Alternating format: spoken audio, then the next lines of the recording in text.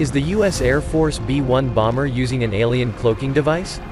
Although the point of a cloaking device, a hypothetical technology common to science fiction, is to make something invisible to the naked eye, even in movies and TV the technology isn't exactly perfect. Instead of making an object, such as an aircraft, completely invisible there is often a faint but still noticeable shimmer or blur. At least that's how it works in Star Trek, which was the first to conceptualize the technology in its 1966 episode, Balance of Terror, where the selective bending of light made a spacecraft essentially invisible to sensors and visual detection. Yet it wasn't until the 1968 episode of the series, The Enterprise Incident, in which the technology was actually given a name, and since then the concept of cloaking devices has been seen in countless science fiction narratives in film, TV and video games. Recently UFO conspiracy theorists offered visual proof that the technology exists, which is ironic considering that a cloaked craft shouldn't be something you'd actually see. The UK's Daily Express reported that the UFO hunters widely shared an image from Google Earth that they believed clearly showed alien technology, and possibly even an alien craft, at Dyess Air Force Base, AFB, Texas.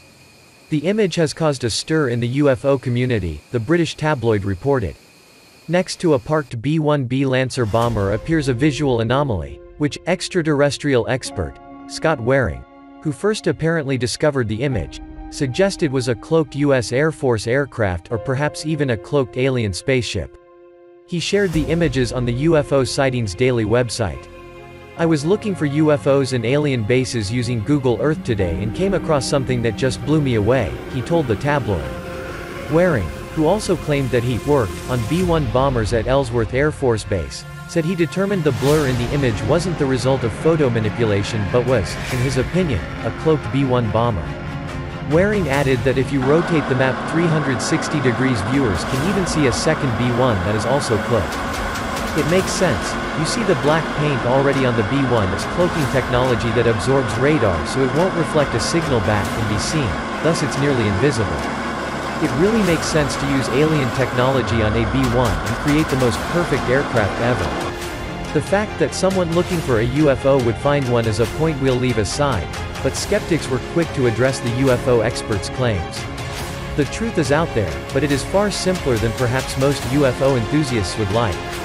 The skeptics noted that, Google Earth Image sometimes store old images in their cache, so when a new image was taken it overlaps and creates a ghostly image.